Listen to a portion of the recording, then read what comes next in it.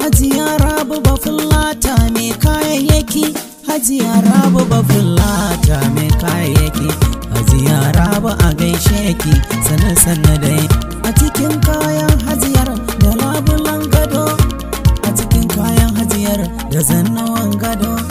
gado gayan riguna masu kwalliya.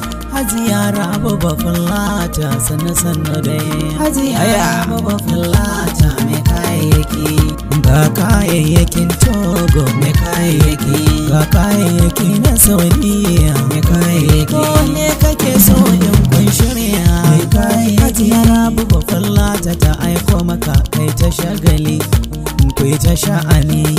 Kai ta shagaliya Albishirin ku jama'a. Sauki na Allah rangwami na ma'aiki. Yayin da hajiya rabu fullata take iyo muku odar kayayyakin alatu kayayyakin more rayuwa. Hajiya rabu fullata ta kware wajen oda da safarar kayayyaki. Musamman kayayyakin gadaje labulallaki na gado da labulallaki na ɗaki. Hajiya rabu fullata bata tsaya a nan ba. Domin kuwa hajiya rabu fullata tana sayar da dardumomi masu kankareren kyau domin inganta addini yayin sallah. Kuma a kuɗi kalilan hajiya rabu bafullata tana odar kuloli na abinci ɓangaren riƙe sanyi da riƙe zafi. Hajiya rabu bafullata tana iya an tayo maka da kayayyakin shimfiɗar gado tun daga ƙasa mai tsarki wato saudi arabia zuwa inda kake a faɗin duniyar na sannan hajiya rabu bafullata tana sayar da kayayyakin abinci wato kuloli da plus plus ɓangaren riƙe sanyi da ma zafi gaba ɗaya. Har yanzu ga zannuwan gado kiran Nijar da take kawowa Najeriya sannan ga zannuwan gado 'yan Togo su ma da take kawo su Najeriya. Aiki sai mai shi. Hajiya Rabu tana odar dogayen riguna da kuma hijabai.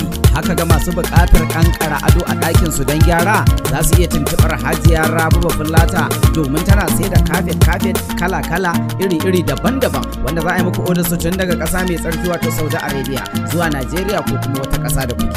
Hajiya Rabu Bafullata cikin rahusa za ta sayar muku da atamfofi kankara kankara gami ma da shaddodi. Kai mala ai abun ma sai wanda ya gani. Ga masu tuntubar hajiya rabu bafullata ga lambar ta ta ƙasa mai tsarki wato plus 966-0583-3272-37 sai kuma lambar ta ta ƙasa najeriya 070-2094-1056 wato sifili bakwai sifili biyu tara ɗaya biyar shida.